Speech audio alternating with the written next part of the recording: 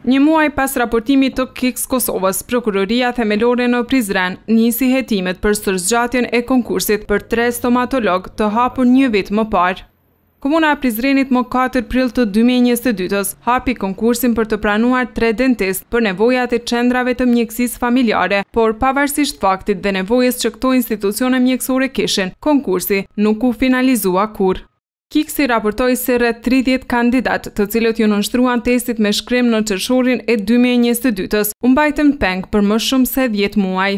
Dy javë pas transmetimit të emisionit, Komuna e Prizrenit mori vendim për anulimin e këtij konkursi më tre maj të këtij viti.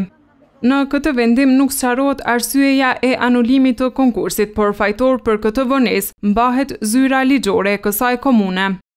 Anulohet procedura e rekrutimit për konkursin e hapur për aplikim nga data katër prill dy mijë e njëzet e dy për tri pozita doktor stomatolog në kuadër të Drejtorisë së Shëndetësisë në Komunën e Prizrenit. Afati për anulim është zgjatur për shkak të konfuzionit që ka shfaqur zyra ligjore lidhur me përfundimin e procedurës së rekrutimit pas dorëheqjes së dhënë nga tre anëtarë të komisionit. Kërkojmë mirëkuptimin nga të gjithë palët në procedurë.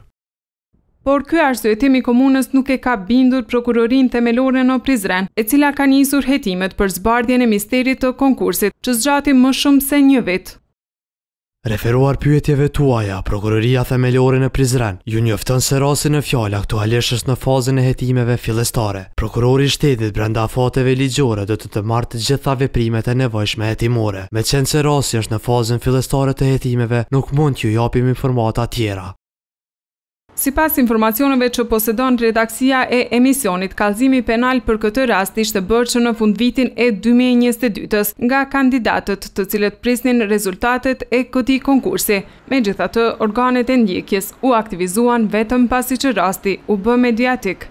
Në anën tjetër, mosmarrëveshjet mes zyrave komunale nuk janë vetëm mes zyrës ligjore dhe zyrës së personelit. Kjo e fundit pati moskoordinim edhe me vetë Drejtorinë e Shëndetësisë, e cila priti më shumë se një vit për punësimin e tre stomatologëve, të cilët nuk u rekrutuan asnjëherë.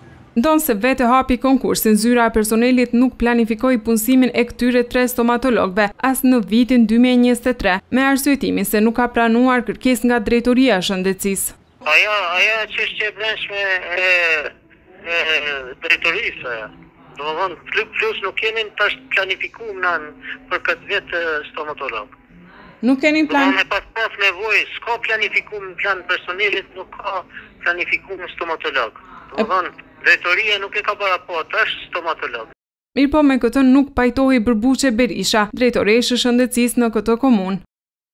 Ajo për Kiksin pati deklaruar se nevoja për këtë kategori të mjekëve është ende e domosdoshme edhe këtë vit, por sipas saj, arsyeja se pse nuk ka bërë planifikim për punësimin e tyre sivjet është pikërisht fakti se konkursi i dy mijë e njëzet e dyshit ishte ende në procedurë.